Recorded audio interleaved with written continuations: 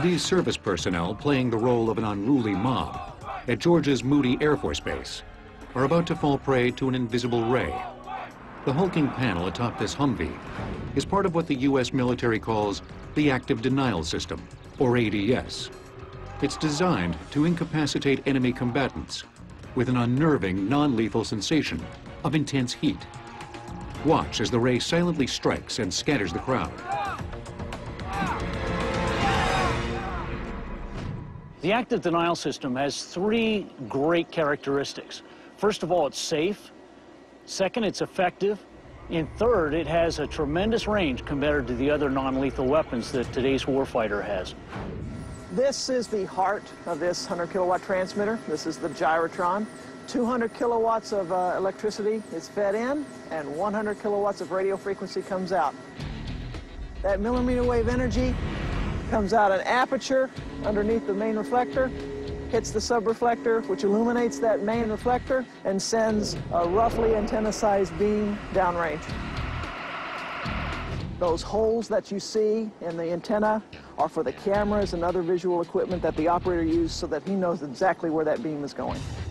It's operated by a joystick. The operator looks into the console, sees exactly what that antenna is aimed at, moves the joystick left, antenna slews to the left, same way to the right.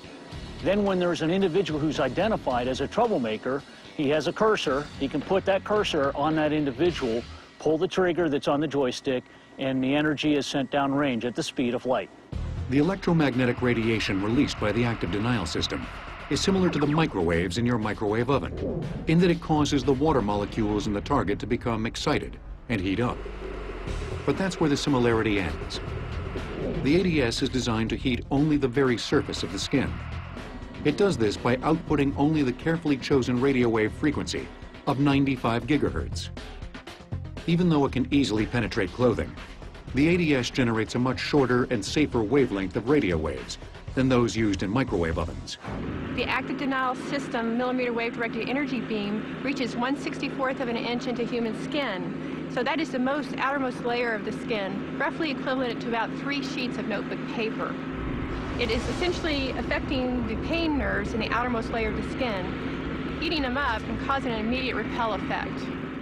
Even these stoic servicemen, aware of what's about to happen, Engage.